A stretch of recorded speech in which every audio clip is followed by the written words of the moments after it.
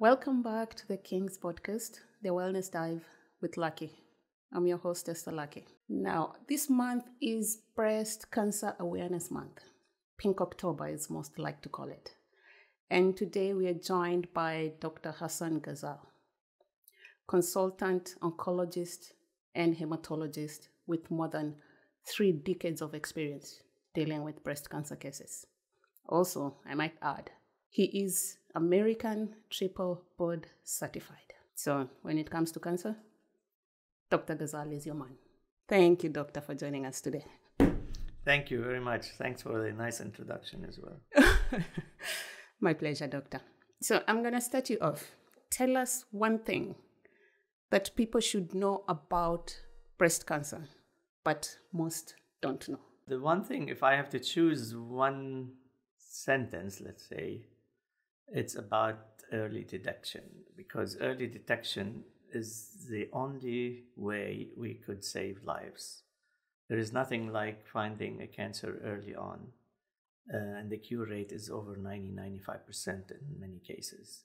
Then coming to a physician with a serious illness, more serious illness, uh, God forbid, spread the cancer somewhere else where it become incurable. So we have the choice and we have excellent guidelines, international guidelines, local guidelines that we can follow to ensure that we can detect these cancers early because there is no question early detection works. So we keep on telling people to get detected early, screening and all that. How early is early? You never know. So how early early it's depend on family history frankly. If you absolutely have no family history, you still have to start at age 40 to do your first mammogram slash ultrasound. Mm-hmm. And even I can add MRI in, ca- in some cases. Because young age, they have what we call dense breasts. So mammogram lose some of the sensitivity when you have very dense breast. And that's where ultrasound and MRI are complementary mm-hmm. and become more critical at young age than the elderly patients. Mm-hmm. So this is for general population. And I say that because more than 80 to 85%, not to scare people, 80 to 85% of breast cancer patients have no family history. Yeah, uh, that, will, that was going to be my next question to you. Actually, most people think that uh, for anyone who has breast cancer, they must have it in the family history. But according to the statistics you just mentioned, it's not so. 85% is a huge number. Absolutely. What are the risk factors, doctor? So, risk factors could vary uh, from genetic, I mean, still genetic, well, because sometimes we, there are genes that we still don't know that can predispose you to cancer. We know a few, quite a few, mm-hmm. but not all. So, it's still genetic and environment. When I say environment, um, exposure to cigarette smoking, for example, alcohol use, all these have been associated with breast cancer. Mm-hmm we have traditionally early menarche, you know, when girls start menstruating at age nine, eight, oh. that's a risk factor. Okay. When women over 55 still menstruating, that's a risk factor also. Mm-hmm. When you don't have babies until you are over 30, is a risk factor. And you know, these days, not many people are getting married early for obvious reasons. Sure, sure. So in the past 15, 16, yeah, mm-hmm. even a lot younger, you get married and you get your first child at age 16 maybe. Yeah, sure. Now it's rare to see a woman below 30 having a baby, really mm-hmm, rare. Mm-hmm, mm-hmm. Especially in urban uh, cities, um, yeah. the average now age is 35 even. Mm-hmm. So that's a risk factor. Mm-hmm. Uh, another risk factor is obesity, big risk factor because many of, especially in our Arab world, we have high obesity starting to go up even in the Gulf region. Oh. It is a biggest risk factor beside next to say smoking for any cancer for that matter, not just breast cancer. Mm-hmm. It's the second largest risk factor for human cancers is obesity.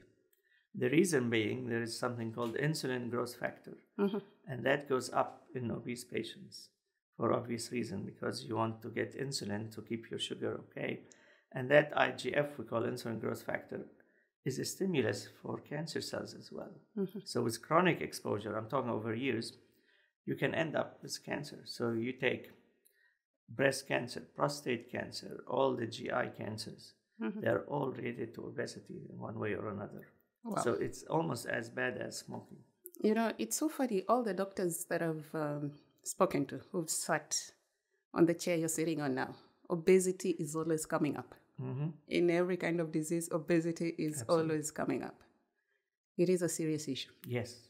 For liver disease, for GI diseases, uh, cardio, of course, cardiovascular disease, number one killer still. Mm-hmm, mm-hmm. Obesity is always a risk factor. Might I add on the risk factors? Being a woman is a risk factor because Absolutely. men also develop breast cancer. What do the statistics say about men and breast cancer? So the number of men with breast cancer is only 1% or less. So obviously a huge difference here with uh, sex. That's why we always associate breast cancer with women, but not to ignore the pay. There are few thousands of patients in this world with, with male breast cancer. Mm-hmm. So the risk for male breast cancers are different.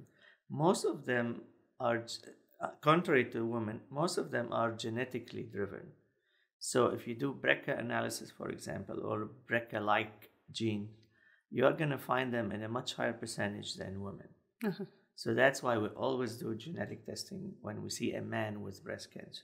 How many men have you seen that had breast cancer over your career? Quite a few. I haven't seen here yet in mm-hmm. UAE, but in uh, United States, I probably followed at least 15 to 20 uh, male breast cancer patients over probably 20 years. And how do they come to find out that they have breast cancer? Because I can imagine they cannot do a mammogram. Well, actually, they can. Oh. Yes. It's easier than women, actually, less painful. It's the usual thing mm-hmm. lump. Uh, Just pain, a lump, yeah. Sometimes pain, mm-hmm. discomfort, one sided lump, you know because some of these men can have you know like uh, augmented breast when one side is different than another mm-hmm. or change so that's why we know uh, we say always know your body mm-hmm. so that's why we say self exam yourself because you are the most one that can tell there's a difference so most of the presentation a lump growing in my breast sometimes associated with pain mm-hmm. because in men it's more painful than women because it's a small area so when there's anything growing, it's going to cause more pain than a woman mm-hmm, breast, mm-hmm. and it will be more noticeable. Absolutely. So usually pain is not present in in uh, females uh, with breast masses uh-huh, uh-huh. versus uh-huh. men. So men will feel more pain, mm-hmm. and it's a growing mass. So mm-hmm. that's how they come to the doctor attention. And yes, there is many time delay mm-hmm. because it's it's sort of a taboo. You know, men are sort of sensitive that oh, I, I cannot have breast cancer or something like that. Mm-hmm. So it's always a sensitive subject, um, but it can happen. So breast cancer affects one in eight women. Mm-hmm. Would you consider it as one of the worst cancers? So depend what you mean by worse, because as far as when we say worse cancer, are we talking just about statistics or are we talking killer? Because if we think of the death it the death not, rate. It is mm-hmm. not the worst killer, no. Mm-hmm. Number one is lung cancer by far. Mm-hmm. Lung cancer alone kills more people than breast, and you can combine with breast colorectal and uh, prostate combined. Mm-hmm. So the number of people dying every year from lung cancer is, is absolutely still staggering. Mm-hmm. So if you think of statistically worse, yes, it is the most common cancer in women, absolutely. Uh, and the number of cases have surpassed lung cancer recently. Because before, lung cancer used to be more common mm-hmm. in men and women if you combine the two. But because the smoking has dropped tremendously across the world, mm-hmm. there's actually a drop finally in lung cancer cases. If you look at historically, since World War II, mm-hmm. that's when the smoking uh, spike happened. And that's when lung cancer 10 years later spiked. Mm-hmm. It wasn't the most common until the 1950s and 60s. Mm-hmm. And it stayed up there really. This is the first time, the first decade, we see a drop in lung cancer cases. And for, for the first time, breast cancer became the most more common now in mm-hmm. terms of the numbers. Mm-hmm. But it is not the first killer. So if you're worst in terms of statistics, I would say yes. Not in terms of killing how many p- people are dying from, from it. Is it the same case as, uh, let's say, uh, if you compare the statistics now and uh, about 20 years ago? Absolutely how far, not. How far very good question. Mm-hmm. We have data every few years or every decade on the mortality from cancer, including breast cancer. And the good news in the last two decades, there is actually a, at least 15% drop in mortality. Mm-hmm. So almost 5 to 7% every decade. And the reason for that is multifactorial. Number one, early detection. So it's definite stage migration. Mm-hmm. We're seeing more stage one and two than three and four because of all the probably education and the campaigning. And more people are accepting mammogram, even here in the Gulf, where it used to be more of a taboo. Mm-hmm. Women cannot go uh, show her breast or do any test, uh, or they are scared or afraid or whatever, shy. It used to be like that. It's not anymore. I think the word is spreading. Mm-hmm. More people are doing mammogram as as expected uh, mm-hmm. from the number of population here. So this is one factor. However, the second factor is new drugs. We have at least at least 30 to 40 new drugs in the last 20 years, mm-hmm, mm-hmm. if not more. Mm-hmm. Every month, almost, we have a new drug now. More effective than the previous one. Absolutely, more mm-hmm. effective and not chemotherapy. We used to always think of traditional chemotherapy. Mm-hmm.